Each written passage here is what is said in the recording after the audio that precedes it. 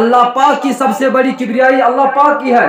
اور فرماون، حدیث پاکس مز جس متقبر انسان چو آسن، جو بول جب بولتا ہے تو اونچے آواز سے بولتا ہے جس تیز کلامی چھ کرن۔ ام ساتن فرمان اللہ پاکس کوتا غصہ چھ شرارت کوتا چھ جلال کوتا چھ ام ساتن کہ یہ میں کلام، میرے کلام سے بھی بڑھ کر اپنی آواز اختیار کر لیتا ہے۔ فرماون یم ساتن جس زور کلام چھ کرن کانس کانس غریب ست کانت انسان چھ بیس انسان ست زور کلام کرن، بد کلامی کرن۔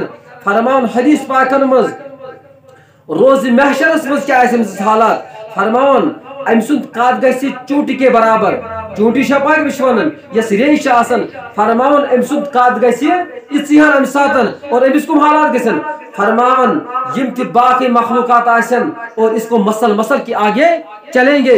یہ گھر لت مج زو نیرس نا کی لت سنس ہر کھانا اس تہ پکان آس یہ گھر جی لت مج فرمان یہ متقبر کی پہچان ہوگی۔ جس متقبر آسے یمس کبر آسے یمس گمنڈ آسے دنیا اندر میں بڑا آدمی ہوں، میں بولتا ہوں، بس کوئی نہیں بولے۔ جو اپنی آواز کو اونچا اونچا کر دے۔ فرماؤن امسنس حالات آسے، یہ چونٹ کے برابر ہوگا۔ روز محشر دو ایسے چوٹ کے